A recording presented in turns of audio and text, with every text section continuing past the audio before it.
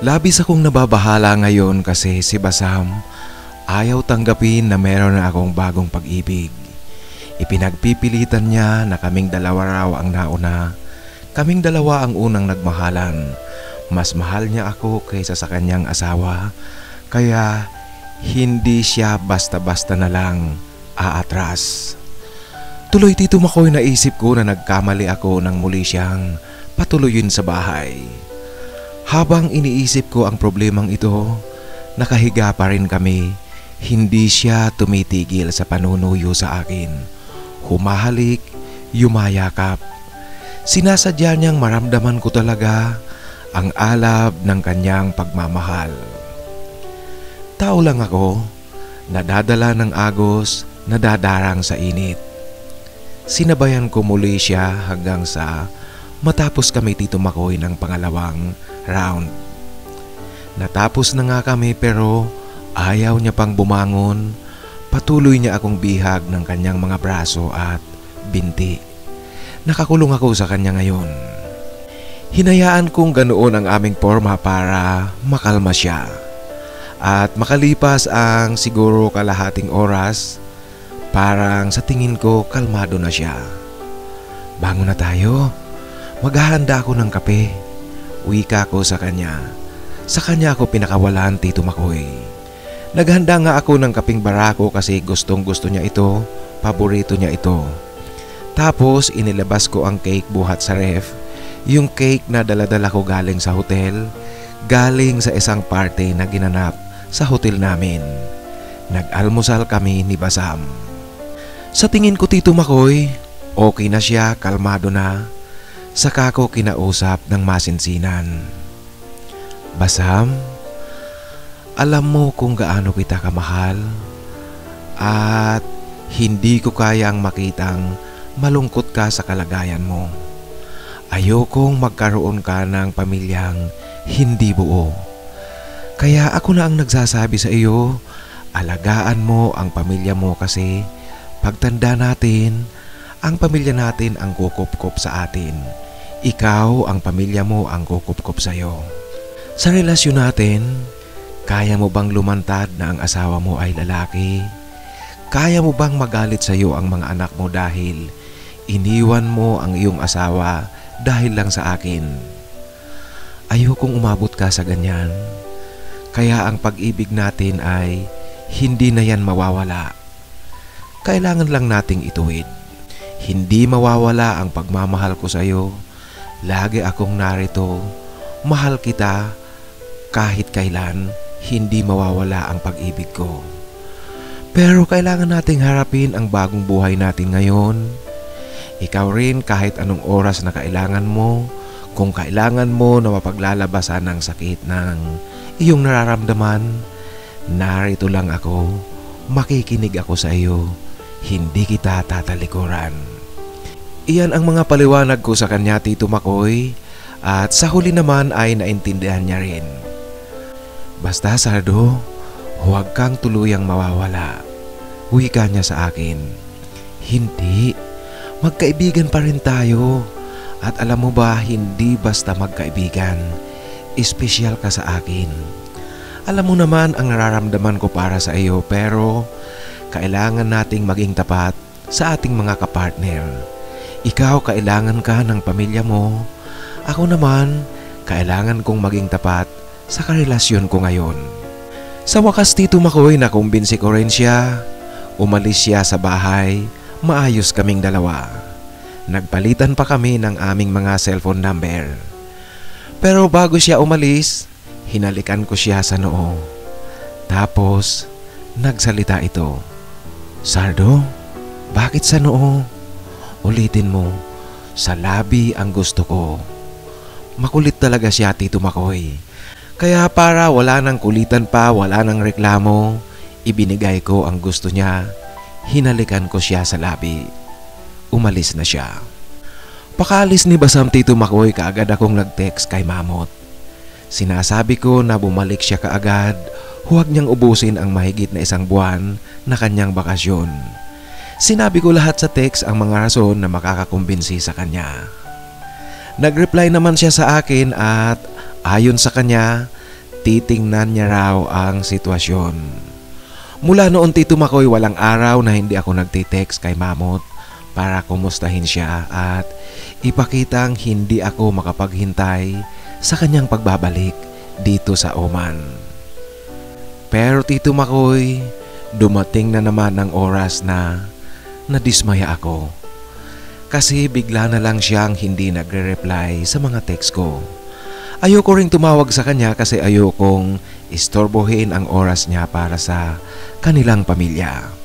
Dahil dito, inihanda ko na naman ang sarili ko sa posibleng hindi magandang susunod na sitwasyon. Baka si Mamot na ang pang-apat na dagok na darating sa buhay pag-ibig ko. Baka bigla na lang sabihin niya na ikakasal na rin siya. Kinokondisyon ko na ang sarili ko Tito Makoy sa mga ganitong sitwasyon. Total nga saan ba dadalhin ang relasyon namin? Hindi maaaring habang buhay kaming magkukubli dahil sa relasyon namin.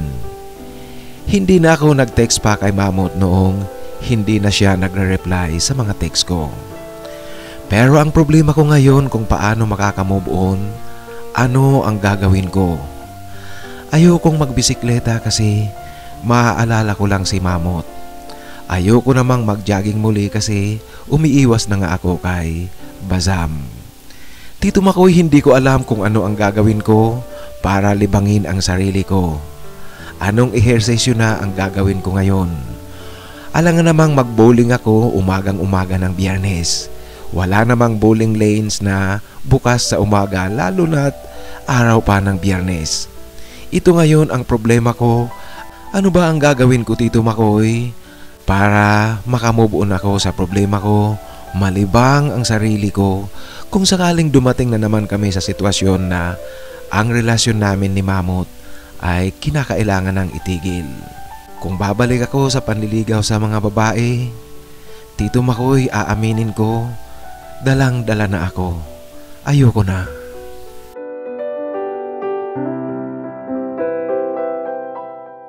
Sa sitwasyon ko ngayon na pinaghahandaan ko na naman ang posibleng masamang mangyayari sa pag-iibigan namin ni Mamot.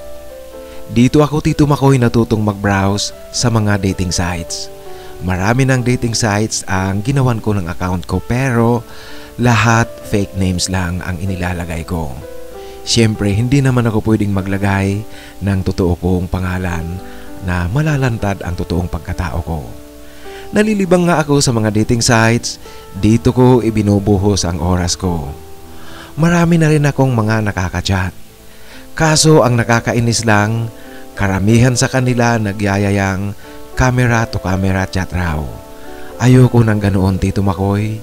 Takot ako at hindi naman talaga ako ganoon kadesperado para gawin ko ang kanilang hinihiling. Isang araw Tito Makoy habang nagbabrowse ako, may kumakatok sa pintuan ko na naman. Bad trip ako Tito Makoy kasi nasa kasarapan ng pakikipag-chat. Kung ang caretaker na naman itong building yung Pakistani ang kumakatok, bubulyawan ko talaga ito. Buwisit, nakakainis. Tumayo ako para buksan ang pintuan. Pagbukas ko ng pinto, Tito Makoy, si Mamot nakangiti siya. Eksaktong isang buwan mula nang umalis siya, nandito na bumalik na muli sa Muscat. Siyempre dala ng pangungulila namin sa isa't isa, yakapan sa may pintuan, halikan kagatan ng labi. Kagad ko siyang inakay papunta sa sofa para umupo at magpahinga.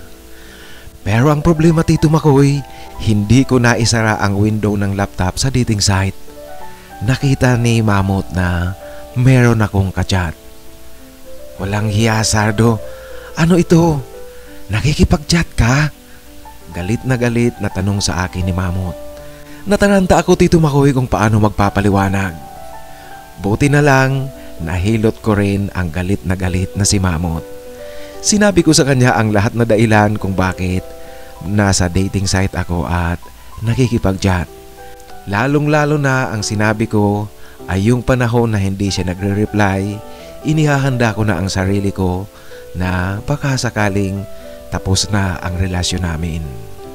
Sa pagpapaliwanag ko kay Mamot, naintindihan niya naman, tinanggap niya ang paliwanag ko. Pero noong oras ding iyon, hiningi niyang i-deactivate ko lahat ang mga account ko sa dating sites. Kaya naman para masiguro sa kanya na totoo ang aking sinasabi, magkatulong kaming dalawa na dinilit ko lahat ang mga accounts ko sa mga dating sites. Saka lang siya napalagay ang isip Tito Makoy.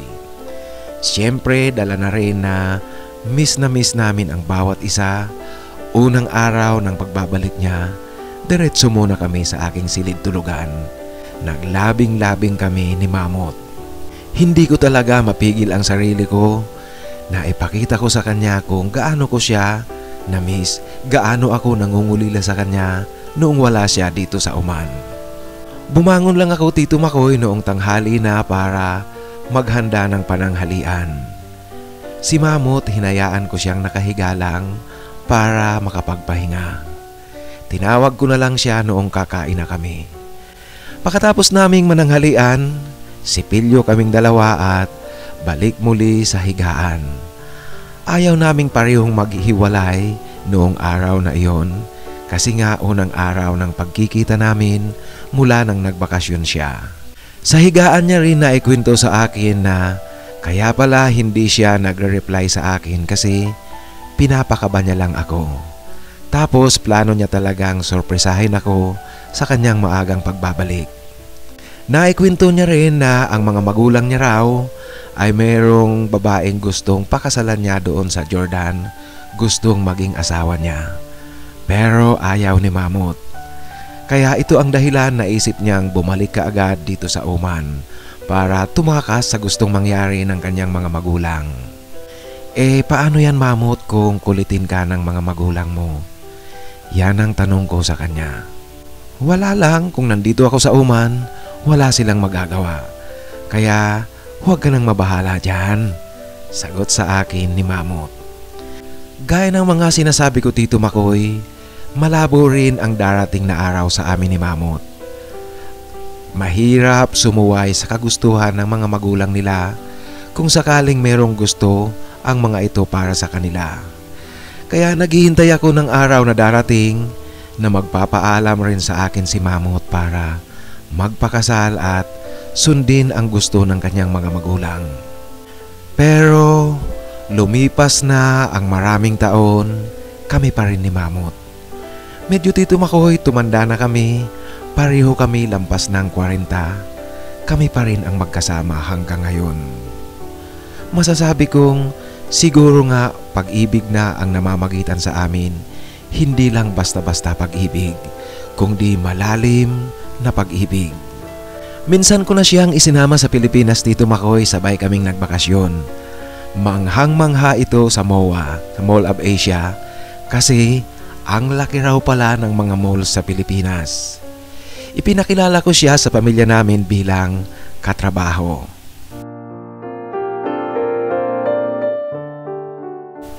Sa ngayon, narito pa rin kami sa Oman. Nagtatrabaho pa rin ako sa dati kong trabaho. Patuloy kami ni Mamut sa aming nakagawian na pagbibisikleta tuwing biyernes na umaga. Wari ko'y lampas na kami sa punto ng aming relasyon na kinakailangang dumaan sa pagsubok. Yung punto baga na mga sinusubok ang pagmamahalan ng dalawang tao. Sinubok na kami ng ilang beses pero magkasama pa rin kami hanggang ngayon. Isa na lang ang problema namin ngayon Tito Makoy, ang problemang kailangan naming harapin. Ito'y kung paano kami lalantad sa aming relasyon. Pero bahala na. Haharapin namin ang bagay na iyan pag nasa sitwasyon na kami na dapat kaming manindigan at dapat kaming magpakatotoo. Kung iisipin kasi Tito Makoy ang problemang ito, hindi talaga problema. Kasi hindi namin kailangang magpaliwanag at wala kaming obligasyon kanino man na magpaliwanag kung ano ang aming pag-ibig, ano ang aming pagkatao. Sa naranasan ni Mamut sa Pilipinas nung isama ko siya, iniisip niya ngayon na sa Pilipinas na rin kami tumara kung sakaling magretiro na kami pareho sa aming mga trabaho.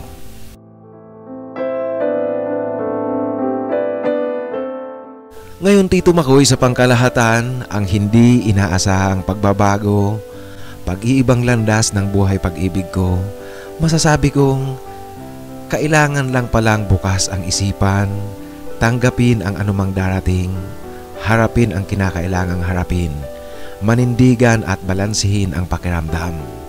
Matatagpuan pa rin natin ang tunay na mundo para sa atin. Kagaya ko nabigo sa pag-ibig sa babae, tinanggap ang mga dumating sa akin, tinanggap ko ang namagitan sa amin ni Bazam at si Mamut ngayon ang kapartner ko. Sadya talagang makulay ang buhay at mahiwaga ang mundo, Tito Makoy. Hanggang dito na lang po, Tito Makoy, ang aking sulat. Medyo napahaba ng gusto ang sulat ko. Pasensya na po kayo, Tito Makoy. Baka ang sulat ko ay record-breaking sa mga sulat na natatanggap mo. Lubos na gumagalang, Sardo.